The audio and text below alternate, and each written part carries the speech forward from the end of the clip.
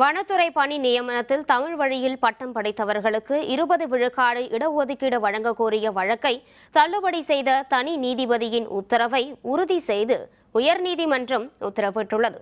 தமிழ்நாடு அரசு பணிகள் தேர்வாணையம் சார்பில் கடந்த இரண்டாயிரத்து பதினெட்டாம் ஆண்டு ஜூலை நான்காம் தேதி தமிழக வனத்துறையில் நூற்று ஐம்பத்தி எட்டு தொழில் பழகுனர் பணிக்கான அறிக்கையை வெளியிட்டது.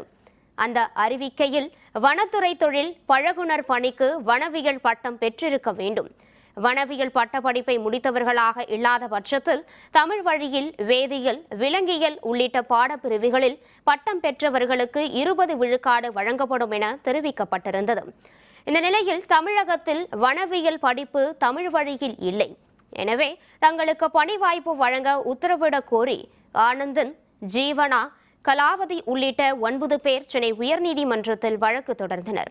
இந்த வழக்கை விசாரித்த தனி நீதிபதி வழக்கை தள்ளுபடி செய்து உத்தரவிட்டார். இந்த உத்தரவை எதிர்த்து ஒன்பது பேரும் மேல்முறையீட்டு வழக்கு தாக்கல் செய்தனர். இந்த வழக்கு தலைமை நீதிபதி ஏ பி சாஹி நீதிபதி செந்தில்குமார் ராமமூர்த்தி ஆகியோர் அடங்கிய அமர்வு முன் விசாரணைக்கு வந்தது.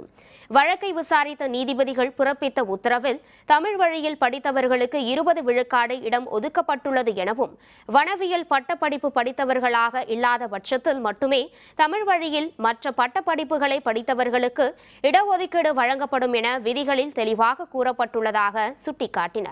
இந்த வழக்கில் ஏற்கனவே வனவியல் படிப்பு முடித்தவர்களுக்கு பணிகள் வழங்கப்பட்டுள்ளன எனவும் இந்த நிலையில் தமிழ் வழியில் வனவியல் படிப்பு இல்லை என்ற காரணத்தை கூறி மனுதாரர்கள் உரிமை கோர முடியாது எனவும் தெரிவித்த நீதிமன்றம் இந்த வழக்கில் தனி நீதிபதியின் உத்தரவு உறுதி செய்யப்படுவதாக கூறி வழக்கை தள்ளுபடி செய்து உத்தரவிட்டனர்.